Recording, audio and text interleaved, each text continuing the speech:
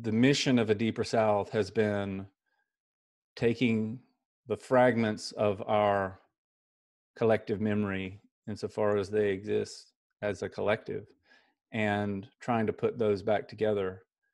And as a friend of mine put it the other day looking backwards honestly is a very is essential to looking forwards that before we look forwards we have to look back. And that involves not just our larger history as a nation and as a region but also at a personal level. And a deeper south is largely about the work of memory.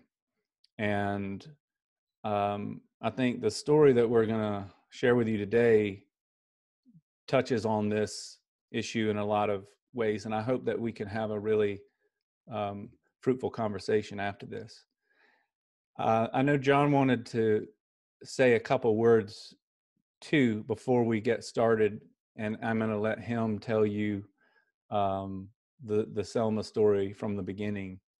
And um, I just before I hand it over to John, I just want to thank you all for being here and for being willing to spend your lunch hour uh, or your breakfast hour uh, with us. So, John. Yeah, Pete and I talked uh, before this about what we would say, sort of as a preface to acknowledge the the weightiness of the moment that we're in. Um, and we didn't share with each other what we were planning to say. He's said uh, what was on my mind and heart. So I'm gonna, I think I'm just gonna go ahead and hop into the story. Uh, to do the just story justice is a solid 20 minutes or so. Um, it's a lengthy story. And we have some visuals to, to look at with it. But the resonance of the story for our present moment will, will be hard to miss once we get into the details of the story. Um, and certainly, I think there'll be plenty of things to say about the story and reflection once it's kind of out there. So this was uh, two summers ago. So it's 2018. It was a Wednesday morning in July, and it was already at least 90, and uh, already, I mean, it was, it was super humid. I had actually been to Selma about a month before with uh, a group of eight college students I, I did this uh, study away class called Civil Rights in the Deep South.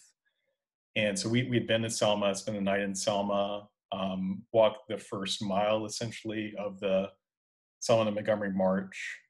Um, if you have not been to Selma, the Edmund Pettus Bridge today looks exactly like it did in 1965. It's a, it's a total timepiece. So in some of these sites, you go there and, and the, the, the um, sites sites very different from what it used to be. In this case, it really is like a timepiece, and you're you're you feel just the immediacy of of uh, 1965 when you're there. Anyway, so I had been with students about a month before, um, but we didn't know about this cemetery that uh, it is Live Oak Cemetery. Is that correct? Okay. Um, we didn't know about the cemetery like the main cemetery for Selma. And so I guess either a cousin of Pete's or just a contact in Alabama had, had recommended that we visit it. And uh, so we drive in about nine o'clock on a Wednesday morning in July. And uh, it's, it's a beautiful place. I mean, just, just beautiful place. Like in all the kind of, you know, stereotypes and cliches you can think of, magnolias, live oaks, Spanish moss, it's just it's a it's a beautiful space. So drive in, it's huge and it's very very old um, and very very wooded. And so sort of drive into this this sort of central road that runs through it, um, and then we just turn down this this um, either dirt or gravel road in, into the cemetery, and we're going down and at least in my memory, it's sort of magnolias on either side. I don't know if that's actually correct, but but felt very ceremonial and, and dramatic. And we're going into kind of the heart of the cemetery. And um, we're seeing as we get closer, there's this, um, well, from a distance, we just thought it was a grave. Um, significant monument uh, ahead of us. And we get, we get closer and that's where the town's primary Confederate monument is. So it's this, it's called Confederate Circle it's this huge monument that that's just dominates the circle and so we get out and we're sort of taking that all in, and it was intriguing to us because um, traveling around and especially like the small towns where the built landscape, sort of the center of it, is so obvious. Usually, these monuments are in the very center of town, like the the in front of the courthouse, right there on the main street. So it was, you know, we were we were curious about why this was um, in a cemetery and not, you know, on one of the main streets of Selma. So we're taking that in, sort of speculating on that, and then we notice, um, yeah, there you go. So then we notice this clearly much much newer monument that's that's in the same circle but sort of um, down to the to the left of this massive monument but in the same circle and it's a bust of nathan bedford forrest who we can talk a little bit more about him uh, later but or i mean i, I guess you know so he's a um, he had been a uh, involved in the the trade in enslaved people in the antebellum era. Made a lot of money off that in Memphis. Um, then was a Confederate cavalry leader, and then after the war, he became, in its early phase, the Grand Wizard of the Ku Klux Klan, which was established in 1866. We actually went to the town in Tennessee where it was established to overthrow um, with violence the Republican Party in the South. And um, so he's he's not just any old Confederate general. He's he's got a very he's a very loaded figure. Um, and so there's this monument him that again, the, the one in the center of this, you know, that Pete just showed you, it's obviously late 19th, early 20th century. It's you don't need to see the date on that to realize it's old. But there's this one that, that of him that's, you know, it seems like it had been up last last week or so. And so we're taking that in, and it describes him as you know, it's got a number of things about him and notes that how he was wizard of the saddle. Yeah, there you go. Um, which was a name he got as a cavalry commander for his horsemanship. But obviously, as he goes on and becomes Grand Wizard of the Klan, that has a obvious double double meaning there. Then, if you look down at the bottom of this, it's got the Confederate States of America's national motto, which you can translate alternately with as uh, God will vindicate us or with God as our defender. So this is, again, to see these uh, in the context of the late 19th, early, early 20th century was not that surprising. Um, like to see them still in the landscape, things that went up then. But to see a new monument that was this bold, um, we were just sort of processing this, taking it all in anyway, so Pete and I, to, to, process that, we we did we sometimes do on the tours, sort of went in our separate directions. Uh, Pete went over to sit under a tree and write down his thoughts. Um, I guess I went back to the van to get a camera, and anyway, I'm back in the van, and a uh, town car, sedan, something like that, pulls up, and uh, there's a late middle-aged white woman rolls down the window and says, "Can I help you?" In this this tone of thinly concealed hostility and suspicion. And uh, I was like, "Oh, we're just uh, we're just taking some pictures, uh, just traveling around." Uh, and she she gets out of the car and still has this this tone of kind of yeah thinly veiled hostility and suspicion, and um, says, "Well, I'm Pat Godwin." I'm president of Chapter 53 of the United Daughters of the Confederacy, and uh, welcome to our cemetery. And I thought, okay, so um, some sort of processing this uh, internally. what what do I say? And you know,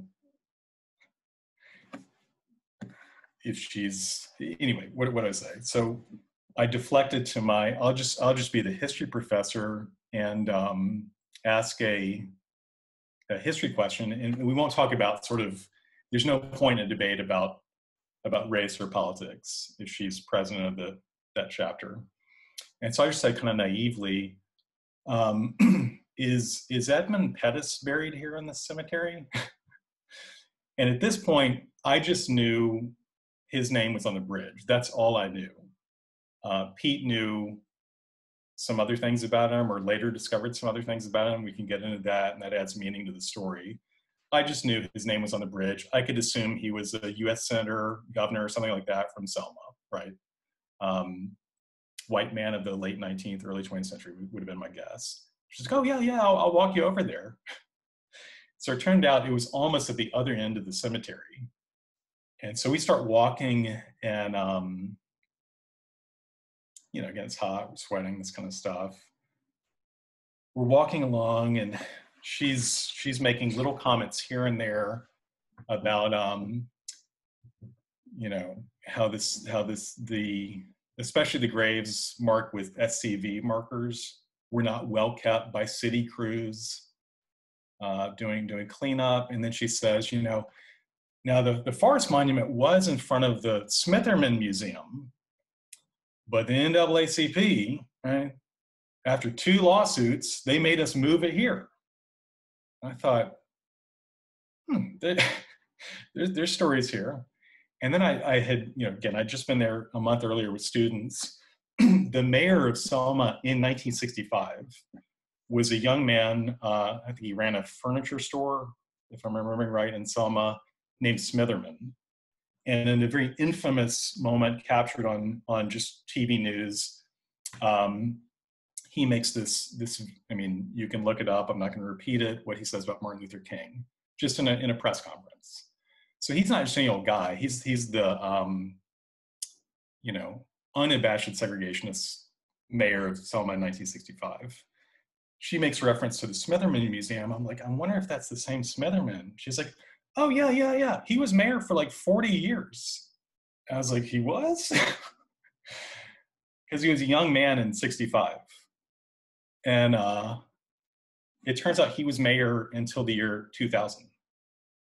And so when we hear Selma, I think in the, the kind of dominant memory, it's often um, ultimately a heroic moment, ultimately, that leads to the Voting Rights Act. Um, but then I thought, you know, he, so he kept getting reelected for another 35 years. Um, that makes this whole story of Selma, the Voting Rights Act, less heroic. Clearly, the politics at the local level um, didn't didn't change in a generation or so. So I'm sort of processing that, and and we get over the Edmund Pettus grave. It's not particularly uh, noteworthy or remarkable. Um, and then we start walking walking back at this point to the direction where you know Pete was still sort of in around Confederate Circle, walking back in his direction.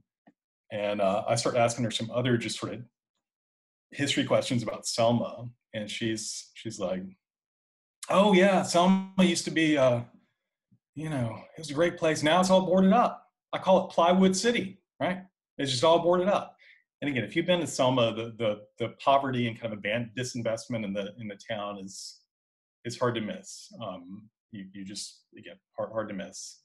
Um, there's some magnificent older buildings. A lot of them are vacant. A lot of them are boarded up. And so again, I'm still sort of playing. I'll just ask history questions, and she's like, and I say, well, you know, when did um, when did sort of the decline start? She's like, oh, around the year 2000. And I'm thinking, you know, the the, the things that have affected, and Pete and I have been through many, many small towns in the South, and even small cities, and you know, when an agricultural population declines, um, over time, the town feels the pangs of that and, and starts its own decline, unless outside industries are, are lured in. So it wasn't co- uncommon for us to see towns that were 50 years past their their heyday. And I thought, like 2000 is a real recent time for decline. Then it comes out that in the year 2000, Selma elected their first ever African American mayor. Um, and she's revealing this right as I think at this point we we we can reconnect with Pete if that's if that sounds about right with the conversation.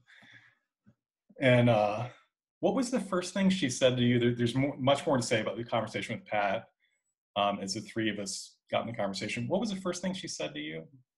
I think it was, "Are you from the South?" Was that the first comment? Oh, yeah, sorry this is why it's helpful to have Yeah. two storytellers Yeah. the very first comment to me after getting out of the car and before introducing herself was, um, you know, she was looking at me like, "What are you doing in this cemetery at Wednesday, Wednesday morning in July?" And I said, "I said, oh, you know, we're uh, it's uh, you know with friend my friend who's over there." You know, we're photographers, and he's a writer. He's writing a book about the South. She's like, "Oh yeah, yeah, everybody's writing about this book about the South, right? especially nowadays." yeah, that was the initial comment Yeah. to me. That's when I launched into, let me just ask about the grave of Edmund Pettus. Anyway, back to that. So she, yeah, so she knew in her head that that he was the writer writing a book about the South. Um, yes, her first question to you was, "Are you from the South?" I think it was, yeah, I think she said, So are you from the South? And I said, Yeah, and, or yes. And she said, Born and raised? And I said, Actually, you know, I think I mentioned after she said where she might have asked me where in the South I was from, and I might have, you know, I said Atlanta, and I'm not sure that satisfied her question, but uh, she then said, born and raised. And I said, yeah. And she asked me that again. And I felt like I was, you know, having to present my kind of Southern bona fides card or something. Um, but that was, you had already been with her for a good 10 minutes up to that Yeah, point. yeah. And that was my first introduction to her. Yeah.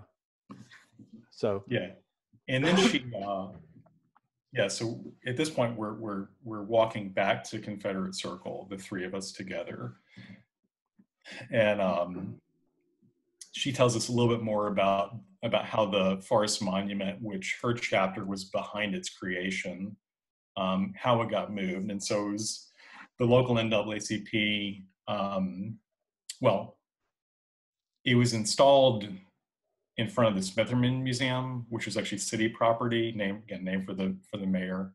Um, about three months or so after Selma's first African American mayor was elected. So it wasn't just oh let's let's it's the year 2000 let's remember Nathan Bedford Forrest. I mean the political symbolism is is hard to miss. Um, but ultimately, because it was city property, that museum was um, the NAACP was able to get it removed from the city property. And so it's moved to Confederate Circle, which within the city cemetery, the UDC actually owns the circle and maintains the circle. mhm. The, the, the cemetery is city property, um, so they could have it there essentially on private property. The only access to the private property is through public property, et cetera, right? And then she starts telling us about is Rose Sanders? Am I remembering the name Yeah. correctly? Okay. Rose Sanders, that's right. Rose Sanders. She has this radio show. I call it Hate 105. She just hates white people, hates white people. And Rose are people, they got together and they sued the city and da da da da. And here we are and had to get moved here and da da da. So by this point, we're back in the circle. And um, Pete and I are about to say, okay, we're gonna we're gonna head on goodbye. And we hear this um, at, a, at a distance. We hear this large tour bus pull up. It's way back on the on the paved road that goes through the middle of the cemetery. So again, we had we had come down this this gravel or dirt road in the Confederate Circle, but there's a paved road that runs through the middle of the cemetery. Again, a distance at that point of a quarter mile. I mean, it's a significant distance. Mm-hmm. The bus is too large to pull down into the cemetery, so it just stops at the at the on the paved road. And so and and it just sits there for a moment, and then the door opens and a group of basically teenagers, at least initially, begins to uh, get off the bus. They're an uh, interracial group of teenagers, and there's an older African American woman with them. And so Pat immediately says to us, "Oh, those must be Rose's people. They bring them over here from the voting Here they rights. come. Here they come." Here they come. And so Pete and I just kind of stand there, and it alternately felt like it, it felt like about two hours transpired. as they begin walking down, you know, they're, they're sort of looking around the cemetery, they begin walking down the road towards Confederate Circle. And Pat approaches um, to, we're not sure what was going to happen.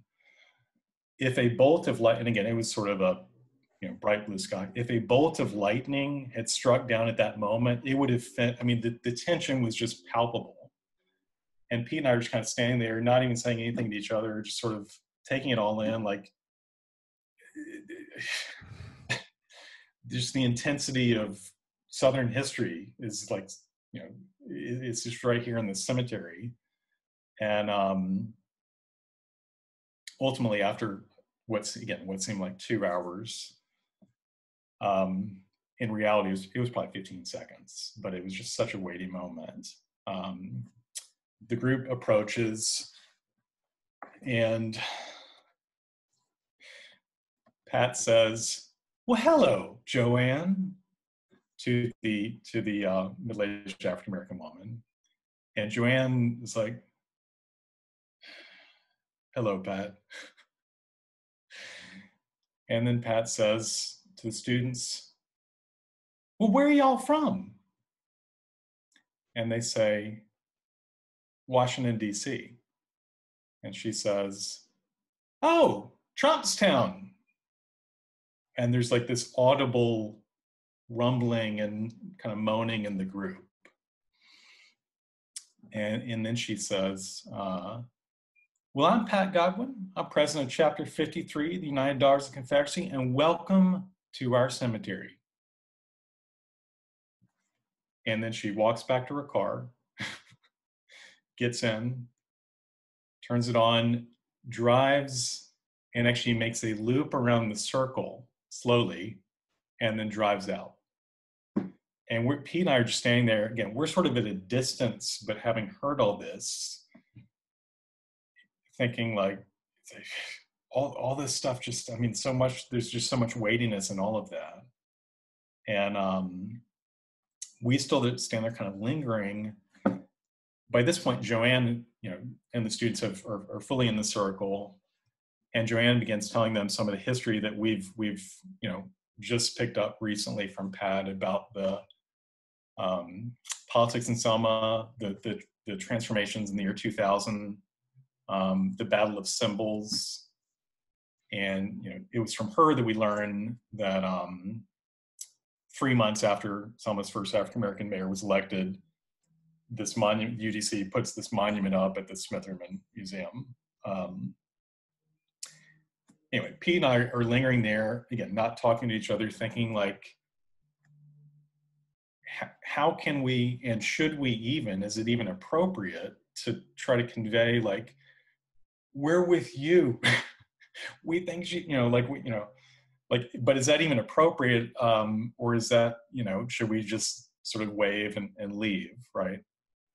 Anyway, so so we're sort of lingering, and then we're like, oh, let's uh, it, let's we get in the van, but we're still kind of sitting there, and um, she Joanne just gives the students time sort of write down their reflections, so they kind of disperse in different areas. There's probably about 25 students or so, something like that, and uh,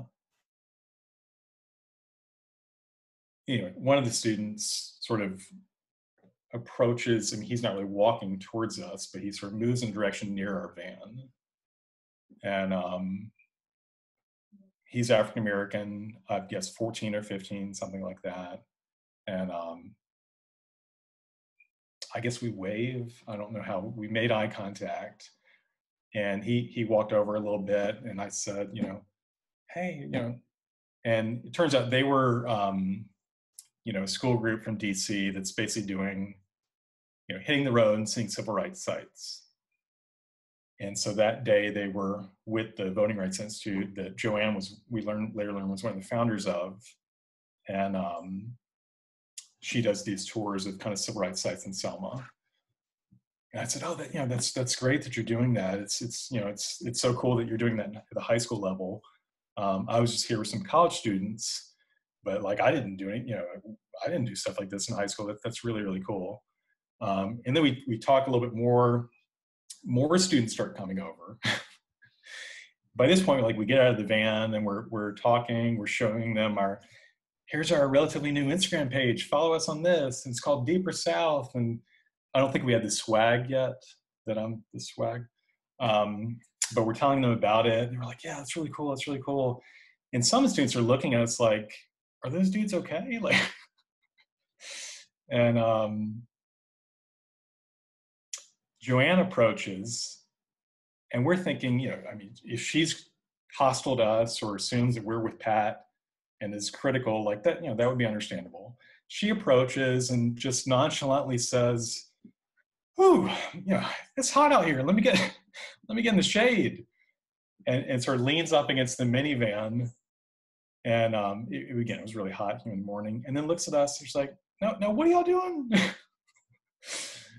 and um, in this just kind of nonchalant, hospitable style. And um, we ended up talking to her for a little bit and um, about some of her showdowns with Pat, um, about the tour she does through the Voting Rights Institute. And I asked her a little bit about sort of things in Selma today in terms of just, you know, what people think of when they think of Selma in 1965 and then you know we were like, well, you know, we'll head on. And so Pete, Pete and I hit the road and and um, head on to, I guess, on further on into the Black Belt West. Um, later, the last summer, we we ended up um, getting a personal contact with Joanne because there's there's a great podcast called White Lies. If you haven't heard it, highly, highly recommend and, and very pertinent for our present moment in 2020. Excellently done. Uh, it's two Alabama guys, and both Pat and Joanne are very much characters in the podcast. Uh, it had not debuted in 2018 when we were there, but but the guys had been recording them. Uh, I think it deb- debuted in spring of 2019, if I'm remembering right.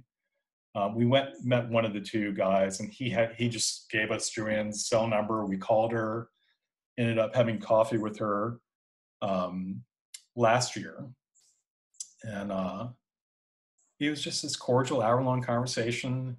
She, of course, remembered who we were, and she's like, "You still got that god awful minivan?" We're like, uh, we've we've got a cooler car now. There's a logo on it, etc. Um, but I think for for for Pete and I, just thinking about the that encounter, uh, like in these two people, we had sort of different Souths represented, and so Pat was just fully just the conf- a certain version of the Confederacy, right, hundred um, percent. And in the person of Joanne, in just such an obvious way, the civil rights movement was represented. So we later learned that when she was 11, she was actually in the march across the Edmund Pettus Bridge. Uh, we also later learned, Pete learned this, that um, Edmund Pettus was not only a leading politician in Alabama, but had been Grand Wizard of the Klan in Alabama, which surely uh, anyone marching in 1965, they would have known that. We just know his name because of the Civil Rights March, but they would they would have known that. And again, that there's a there's a lot of meaning in the the symbolism there. But I think the, the biggest thing for Pete and I, and this is where I'll wrap up the story, is um, you know if if Joanne had approached us and been skeptical skeptical or hostile, um, seeing us with Pat Godwin in Confederate Circle, that would have been totally understandable, right? It would have been we would have expected that, right? Um, on the other hand, two white Southern guys in the Confederate Circle on a hot July morning um, we would have expected Pat to be, oh, this is great. Here are two young Southerners soaking up their their Confederate heritage, right? And what actually played out was the exact opposite of that, right? So, so I mean, from the get go, Pat was was hostile and skeptical, um, and remained that way throughout. Um, whereas Joanne, it was just this nonchalant hospitality, just, which again was was undeserved and uh, very much unexpected there are little details on the story that I'm, i know I've forgotten. And it was actually the beginning of this crazy 48 hours that ended up uh, at the top of a repurposed fire tower in a place called Perry Lakes Park outside of Marion, Alabama, with three people we just met in the middle of the woods at tree level. I mean, t- totally like surreal. Um, but that's the, that's the gist of the Selma story. Uh, we found it, yeah, just weighty with the, the symbolism, um, and you know, ultimately, I think redemptive in the human encounters that we had. I'm, I'm, sure Pete has probably some details to add. There are some visuals we can add, and, and yeah, the, the, only detail I would add is, um, I mean, there are a lot of other kind of small, finer moving parts of that story, but you, I mean, the only one I'm thinking of now is um, Joanne. When she got off the bus, I mean, she carries a certain gravitas. Um, and I, I just remember that sort of almost like a procession towards this monument. And for a long time, I think we just knew her as Joanne. And speaking, you know, referring, going back to last week, we were talking about personalities, histories containing multitudes. Um, I only learned her last name. I think it was the following March 2019 when I was back in Alabama uh, in Marion for a week, and I visited the Lowndes County Interpretive Center, which is a, a site along the um, Selma to Montgomery route on US 80. And uh, they have a film in there. It was very important during the uh, during the march, the the march, and um, there's a film in there about the Selma to Montgomery marches and kind of the role of Lowndes in in that story. And Pat is in the film, but then Joanne, and I knew Pat's name because she told us, and she's not one who's ever been bashful about attaching her name to to her cause. But Joanne appears on the film too. That was the first time I learned her name. And then learned later that she had, you know, had been as a native Selmian and had been, as John mentioned, on the bridge, on the Pettus Bridge in uh, March uh, 1965. And um, and I think one of the things that the themes that that speaks to, which is eh, um, we've talked about a little bit before, is this idea of like you know, not you know the the, the encounter with that story with that personality and opening up onto another world um, where there's just tremendous depth um, is was kind of a wonderful accidental disclosure but I think, you know, I'd love for us to talk about, and we can go back to some of these details maybe, but I think a couple of things were, for me, really jarring about this experience. Some in a positive way, and some in, I mean, the, the most jarring thing was you basically, you know, I think we both felt like we were witnessing a confrontation of completely opposed views of everything. I mean, and uh, particularly all crystallized around this one controversial figure, around this one monument that has its own story, as John outlined. And I think at one point, we both sensed a move again, this is a theme we've talked about too a move from being an observer to that interaction, to being an actor in it, and to being a participant in that drama. And I, I don't think it occurred to me until a good bit later that um, you, what it must have looked like to the this bus load of kids, mixed race, um, I mean, a racially mixed group, and that there are these two white guys with beards and, you know, hanging out talking to the president of the United Daughters of the Confederacy. And, you know, I sometimes wonder, like, what did Joanne tell those kids on the bus? And what did she have to prepare them for that we never would have thought of? you know, did she have to warn them that these guys might be reenactors or so, or you know, they might be sort of um, sympathizers, part of Joanne's, I mean, uh, Pat's kind of fan club. Um, so at one at one level, it gave a sense of exposure to another perspective and being able to see ourselves both in this moment in Selma and and as two white guys who fairly casually just conduct these tours around the South without thinking about this kind of stuff, without thinking about where it's safe to go or where you know where it um, how you might appear, and that was a real um, a real revelation to me that I think affected both the you know, my understanding of that experience and my understanding of the experience or the the activity that we you know for i think for a long time have done the, the things that we have done on these tours without really thinking about ever um i uh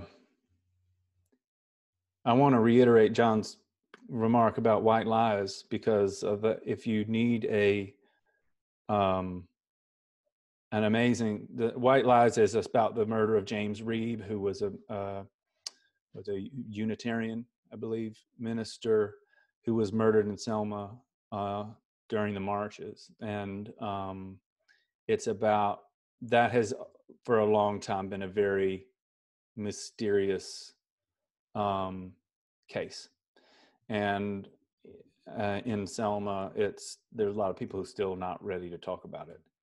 Um, but Pat appears in there, and so does Joanne. So if you want a kind of deeper dive into some of that, I highly recommend that. Um, so I was going to throw it out there and throw it open to other people because I I I do feel like this story touches on a lot of issues that we're all you know we're all surrounded by right now in a way that we can't um can't avoid. Um and i feel like that's that's a good thing that we can you know have a frank honest conversation about that so if you have a a thought or want to jump in unmute yourself and my dad's over there, so I'll unmute him. Or you might have to unmute yourself. I I know I shouldn't say anything probably, but the first question that came to my mind was was the fact that Pat was there a total coincidence, or did she know that Joanne was bringing this group there? I mean, it's just it, you know, the coincidence is stifling. Yeah, she she seemed genuinely. She she didn't seem like she expected them. Um, but Pete and I later thought Pat must patrol Confederate Circle regularly. and I think even if I'm remembering the detail in the in the podcast correctly, I think that's how they meet her as well. Um, maybe maybe I'm wrong on that, but yeah, we, we feel certain that she patrols it. Maybe there's a camera there that's hidden. I don't know. It, it did seem she wasn't surprised that Joanne and the group arrived, but it didn't seem like she knew that they were coming. You know that exact morning. That that's how it seemed to play out. Um, yeah. Pete, this is this is it is what you all are talking about is so relevant to today because um, when you described Joanne as having that gravitas, it is because she's living in the present and dealing with the present. And Pat is trying to hold on to something from the past, and it makes her less weighty. And it's the same thing that we were talking about about the statues in Richmond. Um, the rumors of war is so powerful because it's dealing with today. And very interestingly, the um, they've been Richmond has been talking about the statues on um, in in Richmond, those Confederate statues, giving them some context. Well, during all of the um, protests, the statues are now covered in graffiti, Mm-hmm. and they've got context. Mhm. And that then carrying that one step further, the three women from the Daughters of Confederacy have placed themselves at the base of the statue with their big machine guns. Wow. So, I mean, there are pats everywhere. yeah. I, you know, But I, I didn't. the Confederacy monument was burned down as Yeah. part of the protests. Yeah, um, I, I, I think when your idea of history is so narrow and so, um, in I think perceived as endangered, because I think that Pat, you know, from her perspective, this the truth about Nathan Bedford Forrest was not being told. You there seems to be an inverse, you know, the higher the sense of anxiety about that story not being told or your version of things not getting its hearing, the greater the sort of paranoia and the greater the verbosity that comes with it. One of the things that in other words, you, you just it's like you can't stop talking about it one of the things that I think struck both of us. I mean, you cannot. Um, I'll throw the image up there if you want me to again. But one of the things you can't fail to notice about this Forrest monument is its novelty, because it, it's, you know, the type's different. It's um, got full color rebel flag on it. You don't see that kind of thing on, on old monuments of an older generation, as it were but it's also flanked by not one but two big aluminum historical markers. Um, talking about Forrest, and it ends with John did a great dramatic reading of this on site, which um, I'm tempted to share with you. But he, the the, the end of the one plaque that's t- telling the story of Nathan Forrest is about how at the end of his life he gave his heart to Jesus. You know, he confessed to invited Jesus to be his Lord and Savior or something. Um, which is also much more contemporary language. It's not kind of historical language from Forrest time necessarily uh, as much, perhaps. But I you have the sense like when a version of history um, becomes more contested and more um, dubious, it tends to present itself with greater and greater volume and more and more words. So uh, that is one sort of visual signifier that something was a little off here. And if I can chip in, Pete doesn't like to um, promote his own writing, but I, I do. I'm o- I'm okay with it. He's got two excellent written reflections on on what he's talking about in these symbols and kind of freezing a certain um, this is the message you're going to get about history instead of things that capture the complexity of it. So one, they're both on the website, The Birds of Marietta. Um, and then the other was in, where was it originally published? LA Review. Is that right? Yeah, the Lo- Los Angeles Review of Books. Uh-huh. Yeah. So Flannery O'Connor's challenge to the. Oh, that one was in um, the Christian Century. Okay, gotcha. Um, tell me the name of that one. It's Well, you O'Connor's. know, they challenge. always publishers always give you their own titles. I, I think it was like Flannery O'Connor's challenge to the myths of the lost cause or something like that. Yeah, but extended written reflections on on exactly what you're talking about, Lucille, and um, highly recommended. Thanks.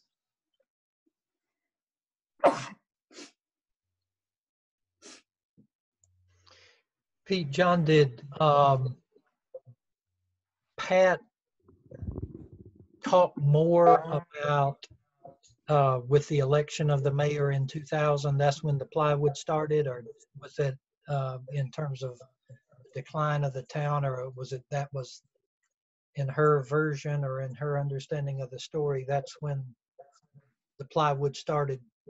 Yeah. Going up It- in Selma. So was that that was that?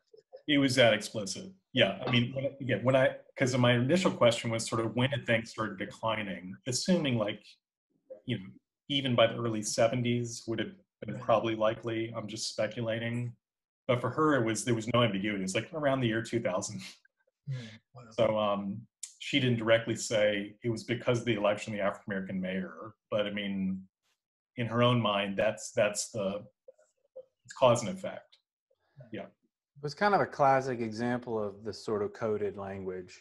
Like it wasn't it was indirect statement, but it was like one step away from an explicit recognition of the connection here. Hmm. And by the way, you know, she on walking back from my when John and I were kind of reunited after he had spent his alone time with Pat, and then we were walking back together to back to the Confederate Circle. Um, she she had several other things to say about um, not just that the election of the mayor, but um, more national poli- politics Yeah, that um, were uh, also kind of examples of this sort of, you know, not overtly racist in the sense that, you know, our president is African American, therefore he is X, Y, and Z. Was at one remove from that, maybe. yeah. The, the, it was just stated to us, sort of like as a question. She's like, "You know, Obama didn't really say the oath of office," and we were like, "Uh, "Say again?" She's like, "Oh yeah, John Roberts left a, a a- a word out or got a phrase wrong, so they had to redo it." She's like, "And they redid it. Uh, you know, public didn't see that one. He he could have had his he could have been had his hand on the Koran for all I know. I don't know." That those were her Yeah. comments. Yeah.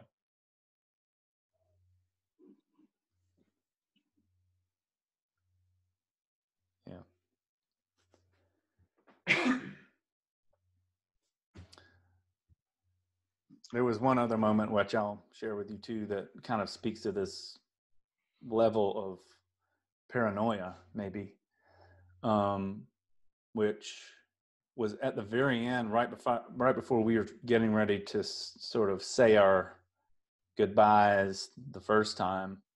Um, I reached into my pocket for my phone, and I was to take a picture and she sort of jumped back and said, "Whoa, whoa, whoa, whoa, whoa! Have you been recording me this whole time?" In my mind, I'm thinking, "No, but I should have been.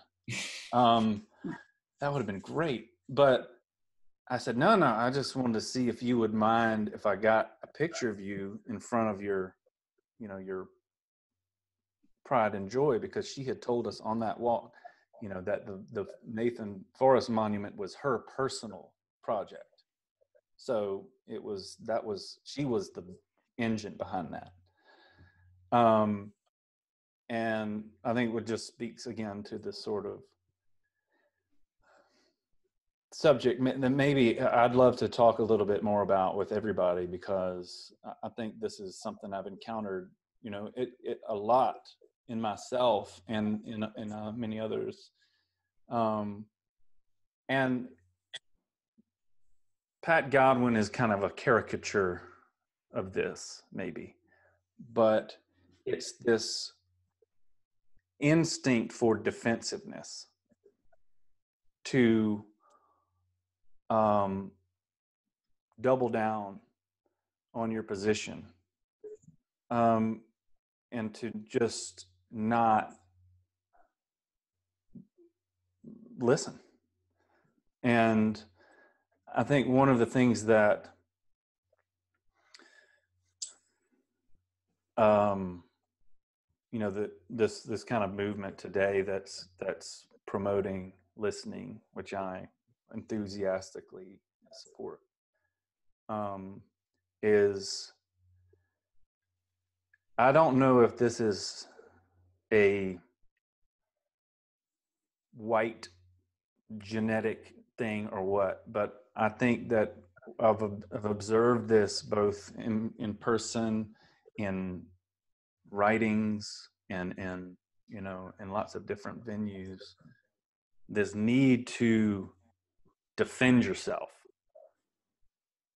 that becomes kind of pathological. And I think this is happening a great deal right now, where we're being asked, you know, both as white people, as um, as Southerners, as whatever, to confront honestly a history that is deeply unpleasant, but also we are part of this. This is our story. And these are the, you know, the legacy of white supremacy. That is our legacy. Everybody who's in this Zoom right now, that is our legacy. And I think something that uh, Kiese Laymon, who's a uh, a writer from Mississippi, who um, I commend to everyone, pointed out something that really struck me yesterday, and it was um, I'll distill it in my own language. I think one of the the thing one of the personal revelations for me that has been both exciting and really really challenging in this whole deeper south thing has been how little I know about my own self. And how little I know about my own family history. And how that I'm going to use a really help me somebody here. I'm about to use a really academic turn of phrase and i want to. But the extent to which that lack of uh, historical um, awareness is a luxury for me as a as a child of um, you know belong to a, a, a, an affluent white male order of things. Um, and the thing that kind of struck me about Kiese comment is um, and I'll put this in terms of the Selma encounter. When Joanne Bland got off that bus, um, I, I think she carried herself clearly to me with a knowledge of who she is. She knows this history because it's not abstract, it is not a textbook. This is her history. This is Selma's history. This is something that she, I mean, I when I've tried to write about this, it's, it, I tried to describe her gait as carrying that personal and historical burden just the way she walked. Um, and I think what the the for me, the Selma experience and the whole Deeper South experience has really illuminated how much white people like me can get along perfectly easily without ever knowing their own history and that knowing our own relationship to this legacy of white supremacy. We have the luxury of pretending like that or even not even caring about it, of it being an optional hobby for us. And to, bar, to go back to Kiese Laymon's language, we don't know who we are. And insofar as, you know, we, I took that personally because, I mean, the, the sense the we there being, you know, uh, the white kind of establishment. Um, that hasn't, that has done no one any favors. Like, no one benefits from a a kind of willful obliviousness to the past. In fact, everybody suffers from it. Um, so I'm gonna end my homily there for for now. Uh, Pete, Pete's, Yeah. Pete's a great. If I can, if I can Yeah. make a follow up to Pete's comment, um, there's this is a question from Meredith on the chat that I, I do want to um, address. Can I'll, I'll, can y'all see the question? Should I read it? Okay. read it. Um, okay. Meredith's question says, It's so easy for us educated white people to make Pat the problem, and she is. But in what ways, because of our own individual blindness and cultural norms, it's disappeared. Pete. Sorry, where did Oh, did I? Meredith's question? Okay. Uh, Can you see it now? is that visible? In what ways, because of our own in oh wait, in what Yeah. ways because of our own individual blindness and cultural norms at play are we actively involved in perpetrating the same disapproval of blackness as Pat? Yeah, and so just to um, that question in relation to this story. So I mean, I, I, to me, the story symbolically expresses that, there's no neutrality. So we've got like in their own persons, and they're about you know they're, they're basically the same age. Pat and Joanne symbolize and stand for different things. So there's not a neutral position, and, and literally in the story itself, there was no way we could just be witnesses, right? With with just the, the showdown that we saw. I mean, we were witnesses. We couldn't just be witnesses. Um, if we just gotten in the van and driven away, the group would have assumed we're with Pat, right? They would have had every reason to assume that. So there is no neutrality.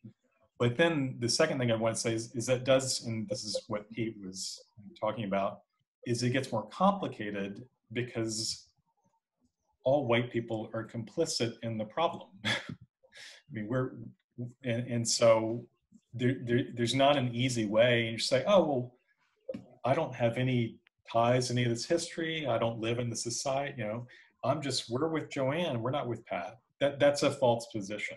And we, we would, you know, th- there's no way, to, you know, you get, I mean, there's, there's no neutrality at the same time. There's no exemption from the society that we're trying to not be neutral about.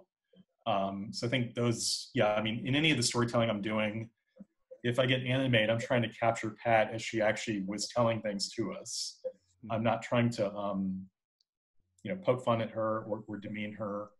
We don't agree with her position, obviously. Um, but yeah, I mean, Meredith, your point is taken. Um, I, I, I do hear that. Yeah, and I, I just would, you know, emphasize too that I don't want to make Pat a kind of caricature or a easy target because it's it, the that you know it makes this whole thing the white supremacy that's somebody that's something other you know it's like um It's the dudes with white white sheets and hoods. Yeah, that's like if if you- that's all. That's it. You know. right and i mean we could talk about this later but i had a specific moment first time i read ta-nehisi coates about my response to his use of the term white supremacy was exactly that. Was i felt well that's that's people in hoods you know? And i've seen you know i've seen klansmen in hoods and so i've i, I can say well that that's not that's not me. Um and i think you know sorry did sam did you have a hand up Yeah, I there was, I was just gonna have, have a thought about the, the whole kind of privilege of looking back at history. Um, that you know, I'm, I'm in somewhat of a similar journey with going back to my family and doing the same.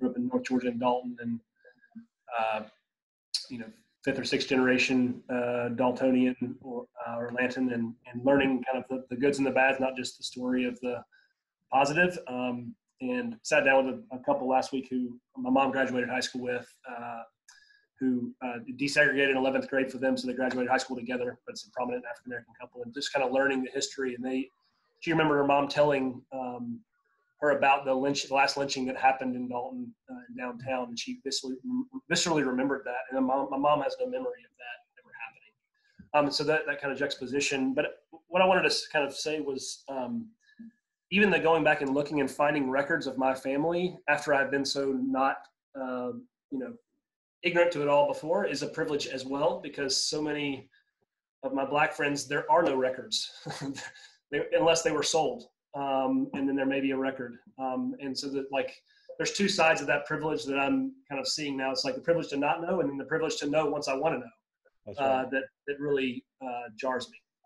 Sam, I don't know if you're here when we were talking about. Um, I think I may have mentioned this in Michael Twitty's book, The Cooking Gene, where he's he's a he kind of is attempting to do this, and he's you know he's trying to he's African American who is trying to trace his his own, and it's about the DNA, as it were, of American food, but it's also about his own DNA and his trying to find like where he comes from.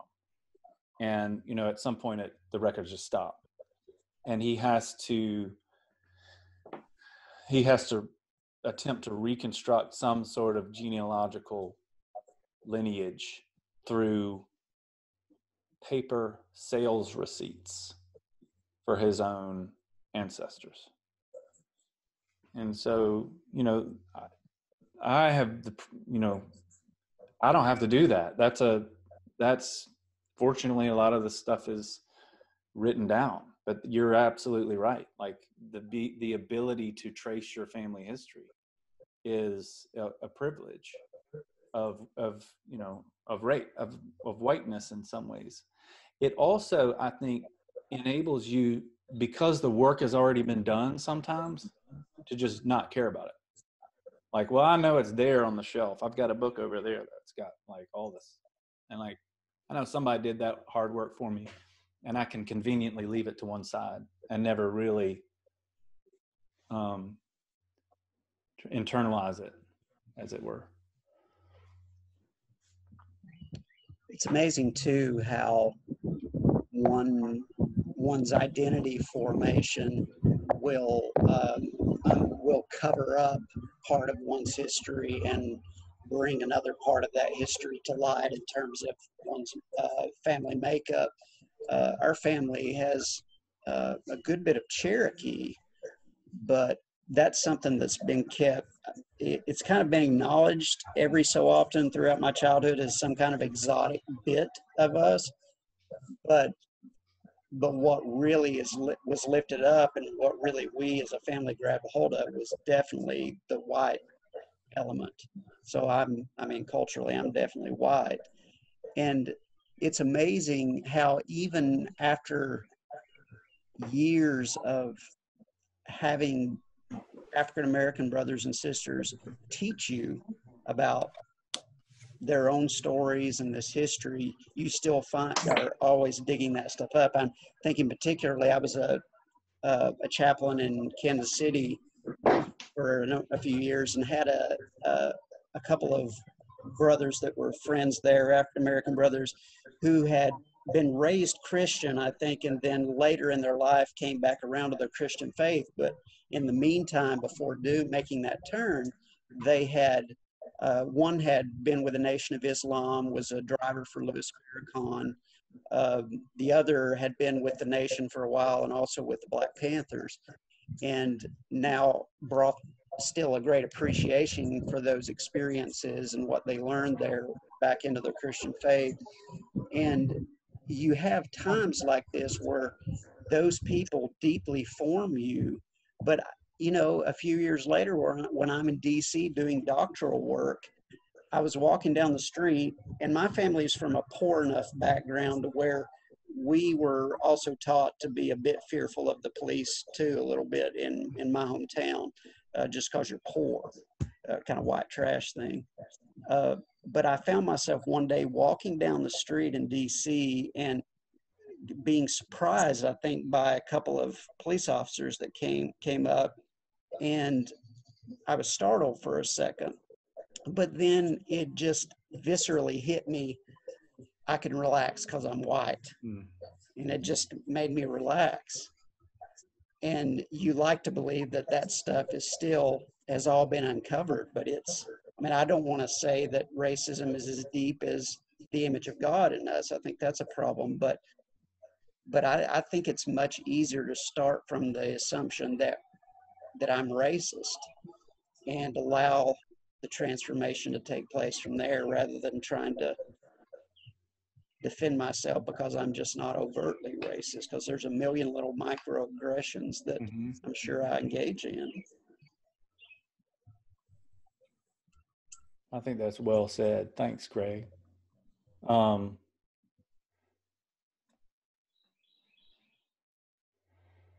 yeah, there's a lot to respond to.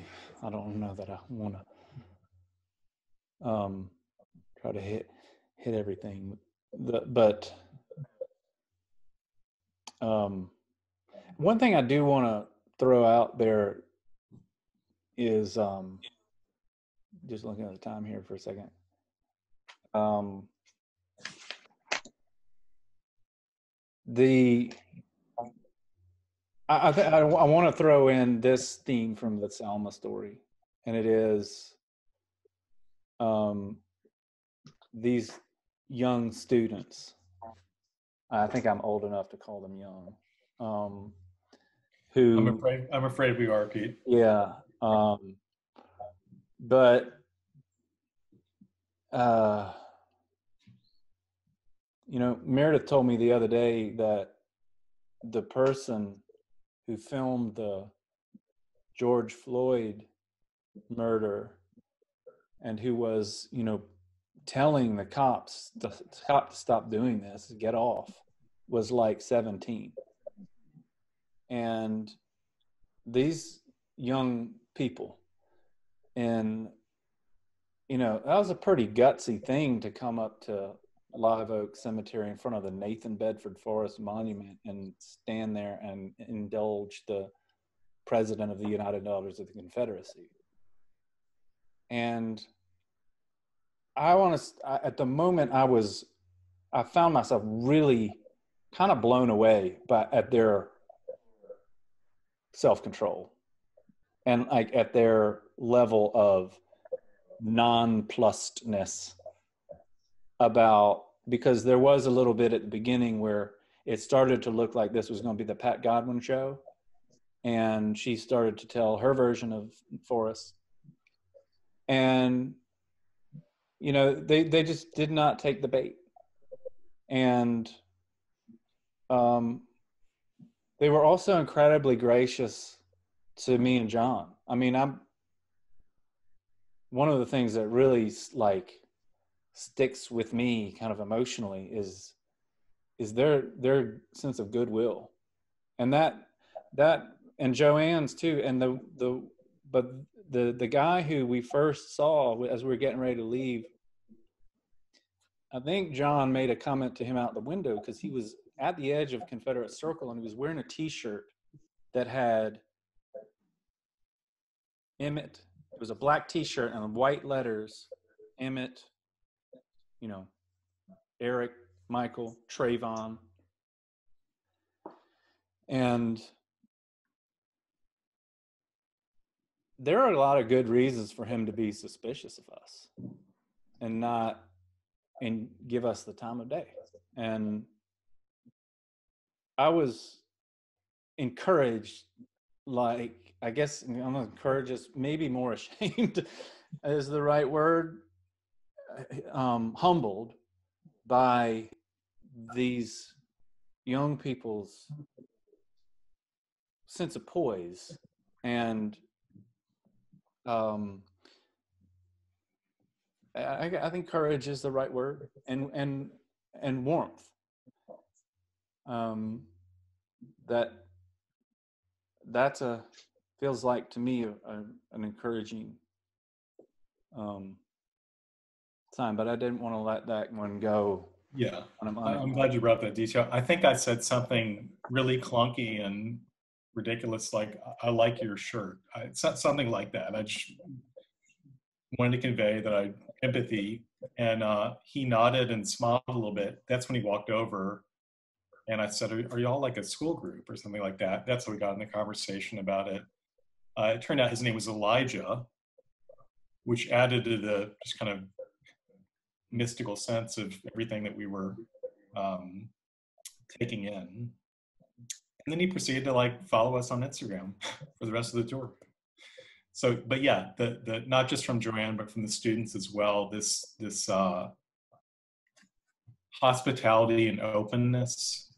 That yeah, for them and for I mean for Joanne, but certainly for them took, takes a lot of courage because there's no reason they should be assuming we're people of goodwill based on what they'd seen. Yeah. Um, yeah, uh, Brent. So I, just before I ask this question, I want to be clear. Joanne brought these kids to look at the Confederate stuff. Okay. So this is just something I hadn't really thought through because when it comes to Confederate monuments and the removal from public spaces and um, and there's certainly a lot in Columbia, um, South Carolina, where I'm at. I've always kind of said, yeah, let's let's remove them, but I haven't really thought about kind of next steps. And um, I guess I appreciate the preservation of history and all that, but it just it strikes me that while the irony that while this is a a space that's meant to commemorate and celebrate the lost cause, it's also an opportunity for more visionary teachers like Joanne to come and actually kind of do their thing too. And um, I don't know what I think of that. I'm just kind of observing the irony. Have you have you guys? I know I know John. I've talked to you some about monuments and what's what's happened in Augusta and stuff like that. But you guys have any thoughts on that?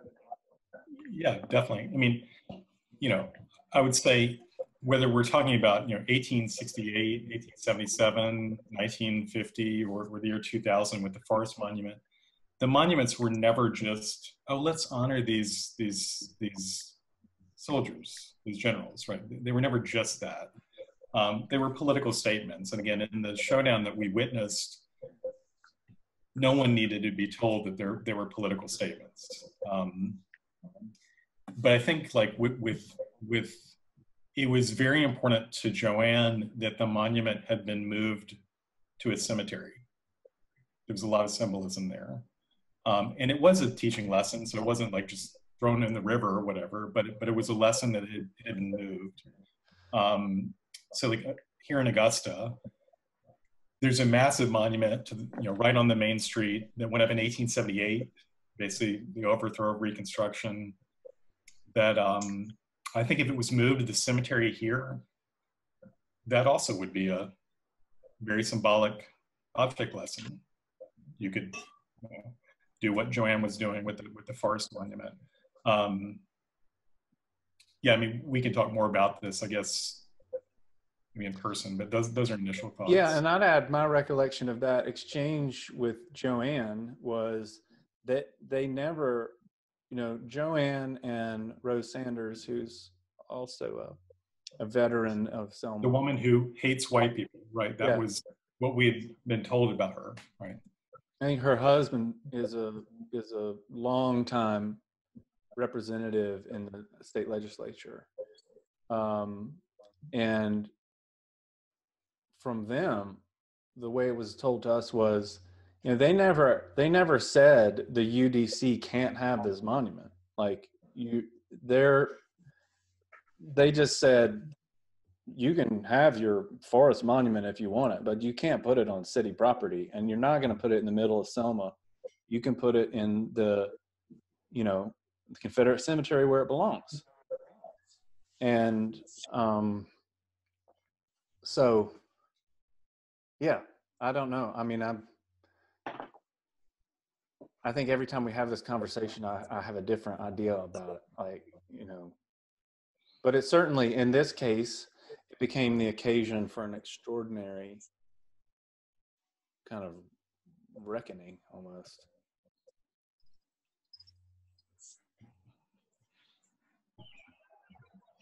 I've been amazed by some brothers and sisters from the African American uh, portion of the church who are just like I have a problem with fear. I, I, I deal with anxiety, depression, and you know I have a history of dealing with fear. And I remember my friend Larry, uh, African American brother, he was coming home to my hometown with me one year from college, and he was going to sing at my dad's church. He's a, he's a gorgeous vocalist, and and I t- and I was remembering stories like the fact that. I mean, we we didn't really have a lot of African American folk where I'm from growing up. It was just a poor small town, and nobody lived there. But but I had heard the stories about us around the year 1900 running a black family out of town, and I knew there was a lot of overt racism there. And I and before we went, I said, Larry, you know, I can't guarantee that there may not be things, things said to you uh, out on the streets in my town. And he just looked at me and smiled. And he he calls me Cooter sometimes because of being from the small town South, you know. And uh, he said he's like Cooter. He said, "I have come too far, and Jesus has protected me too long for me to not trust Him." He said, "I I am happy to go," and just smiled and beamed. And I thought, man, I I don't know. That kind of witness is just, yeah. Another thing, a question I had, if you guys wouldn't mind, if you know of any resources, whether it's essays or books that can kind, that go into the development of hot times in, in history when these monuments have put up, been put up, because I know it's been, it seems like it's times in the decades and years after the Civil War when these monuments will be put up in places. And I, if I wonder, John, Pete, or anybody, if you have any resources that we could go, where you could point us to. Yeah, Gregory, I'll uh, I'll drop a list and I'll just email you um, or send you a Facebook message directly with that if, if that works. But yeah, I, I can write up a list. Yeah, thank you so much. Yeah. Pete? Uh, yeah. I just, I thought it was interesting, Lucille's commentary on uh, how one person was living in the present and one person was in the past. And Pat is obviously living in the past and it's, you all have already talked around it, but it was, I just couldn't get away from the fact that her, her most prized possession in life is in a cemetery and what belongs in the cemetery other than things that are dead. Mm-hmm. Yeah. It's well put. Heritage I hadn't also belongs that. the Yep. cemetery. And Sorry. that's what, uh, I say, heritage also belongs in the cemetery. And that's what she's valuing. Mhm. Yeah, just an, an kind of editorial thing to, to both those comments. This is in Pete's um, reflection on Flannery O'Connor, thinking about the lost cause.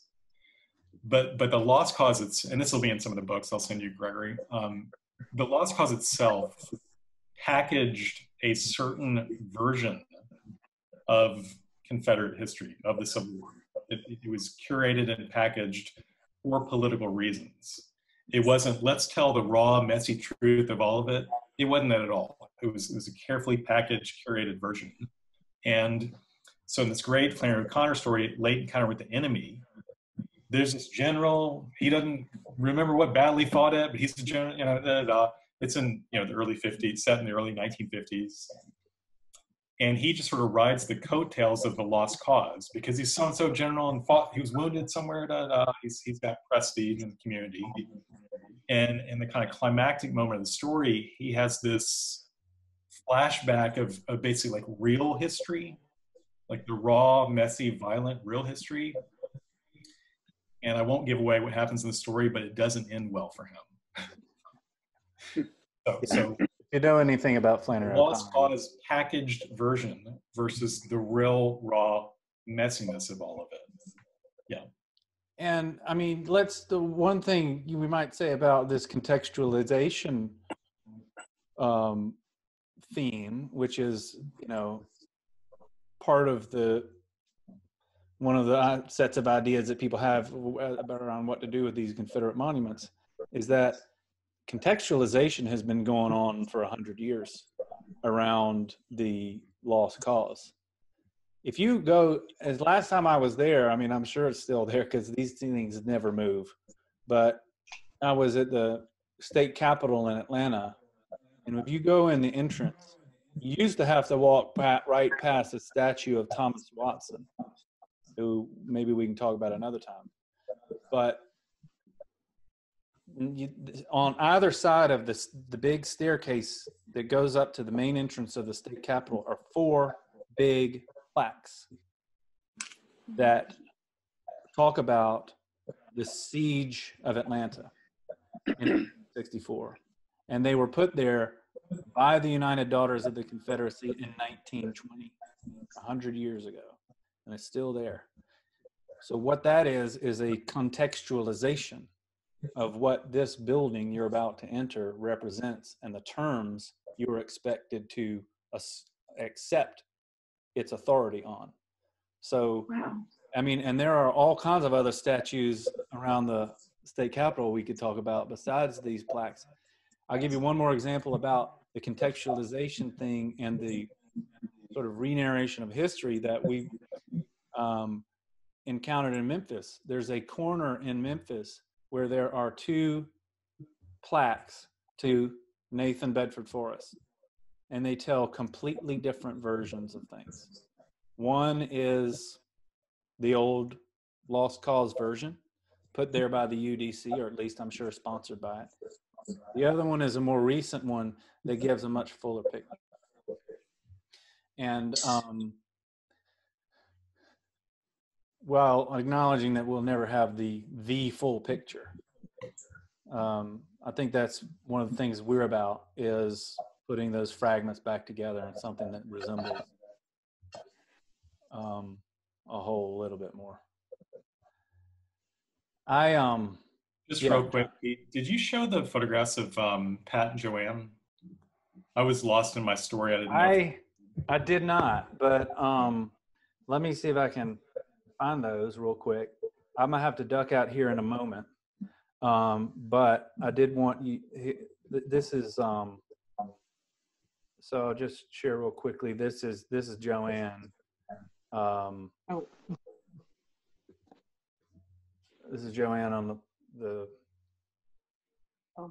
Can y'all see? yeah, and that? that was last last summer um, in a, the visit we had with her. And th- this is one of John's photographs of um, the cemetery. I mean, it is an extraordinarily beautiful place. Like it hits all the the usual um, buttons. Um, and then one more. Oh yeah, Um, I want to say a little bit about this one. Okay. Um, I actually have to duck out. Maybe I should save this for later. Um, the, but, okay. Okay, good. So, okay, I do have a, I've, don't tell anybody, but I'm supposed to get my hair cut today. It's, but I think it's I think it's legal in North Carolina. Um, so this last little piece, um, know if you can see this. While while John was was with Pat Godwin uh, at the beginning, I kind of stumbled upon this little piece of paper that was sitting on the ground. And I don't know if you can read it, but it is a eight and a half by 11 sheet of paper flyer that is an invitation to attend Confederate Memorial Day commemoration in Live Oak Cemetery uh, on April 26th, 2018, 6 p.m. That's Confederate Memorial Day, still a state holiday in Alabama, Mississippi, Georgia. Hosted by the UDC, etc. And then it's list a couple of the names, but um, it ends with the, the um, these three lines: "Be proud of your Southern heritage, honor your Confederate ancestors, and bring your lawn chairs and a friend." Um, but so here's what's weird about this. Okay, so that flyer is from the Confederate history, uh, the Confederate Memorial Celebration on April 26th. Look at it. I mean, I don't know if you got to see it. It's almost flawless. It's a little crumpled, but that's a clean sheet of paper. We were there in July 20, 2018, May, June, three months Alabama summer, you know, and this sheet of paper just sort of happens to be sitting on the on the ground in perfect condition.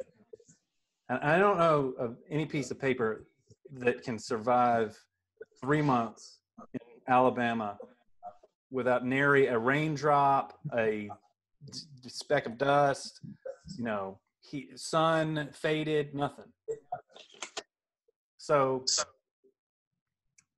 just to add a little bit of intrigue to the um, the whole story, uh, I started to wonder whether or not these were like these were put there as a kind of message. Uh, they were sort of you know accidentally left around. Um, there was one other episode which, um, you know, which I'll, I'll leave out, but it which happened around the, the of the the two the group with um, um, with Pat that kind of made me think that too. But um, it was a bizarre little detail that I think I only thought about later when I looked at the date on this thing and was like, how how did that get there? So um, maybe another contextualization, perhaps, uh, or attempt. Um, okay, so let me see if I got all the photographs that we wanted to see. Um, I think we did. If you want me to um, share those with you, or you you'd like to see them um, up close, I'll uh, I'd be happy to do that. I also, John has mentioned a, a, set of readings about Confederate monuments for for Greg, and I've been thinking about this for quite a while, but I feel a new sort of need for this maybe is to put put together a kind of deeper south bookshelf type of thing that would have um, a set of you know list of readings maybe of the books that have, have really impacted me. Um, and I can get John's contributions to that too. His will probably be a lot longer than mine. Um, but will, uh, will a certain essay called "Wither: The Southern Tradition"? Yeah, we're not. No, that that that one no longer exists. Yeah, that's a subject for another time, but um, we will get there. Um, Anybody else have any final thoughts before I go? Duck out. I just want to you. thank you guys. Yeah. Yes, thank you. Yeah, thanks. Thanks. Thanks for tuning in. Thank The you, last every- word, Yeah. I'm sorry, Pete, the last word on the, uh, uh, John, the last word on the monument, Deo Vindice, what is it? Vindice. Vindice?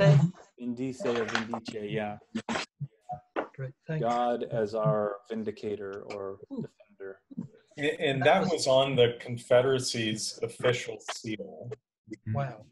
I mean, it's it's a bold statement. Yeah, Thank you. Yeah. I have one small tidbit um, I never reflected on. We adopted a dog when I was 10 years old, and it was named Bedford after that general. And I never ever uh, was concerned about that until I learned about the history of him a year, a couple of years ago. But uh, we renamed him, fortunately. But we had a name Bedford for after the general. Well, I'm curious, what did you rename the dog? Fetch it because it's a golden retriever, so much more appropriate. Better. Hey, I'm sorry. I got to add one thing if Sam's going to go there. Yeah. Um, so our third son, once you get to three, you start to get desperate for names. And um, looking through our family tree, we named our first our first son after a couple of family names. And my grandfather's father was uh, Tillman. So we thought we thought John Tillman Driggers sounded really. in Point of fact, contextually, it sounds really good. It just rolls off the tongue, John Tillman Driggers.